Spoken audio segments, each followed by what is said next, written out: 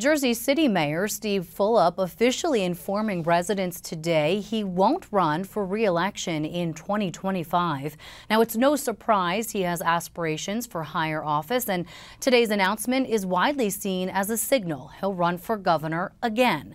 Fulop never officially announced a candidacy for governor in 2017, but he was considered a frontrunner at the time. He announced before the Democratic primary that he wouldn't run and instead endorsed Phil Murphy.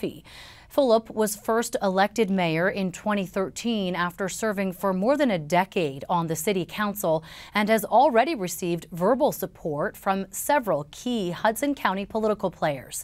Fulop today spoke with senior political correspondent David Cruz, but wouldn't say with certainty he's eyeing a gubernatorial run.